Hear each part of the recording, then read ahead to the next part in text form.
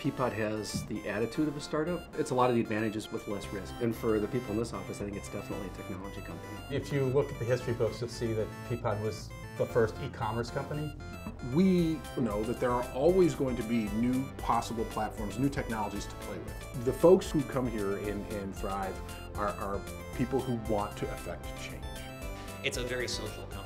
I know the owners' first names, and the owners know my name. Coming down here and working at PPL is such a great environment. You know, we don't want to go to work just to earn a paycheck. We want to go to work to have fun and, you know, do something that you enjoy. I mean, I like the combination of having the smaller team here, but being part of a larger whole, and also the knowledge that I know that my changes or the things that I'm pushing toward the website is going to affect, you know, a team of hundreds.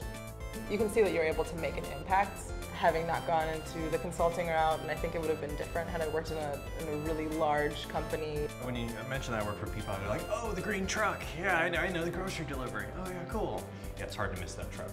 I don't think many people really realize how much technology actually is behind the scenes. We're not necessarily always trumpeting the fact that that created the shopping cart.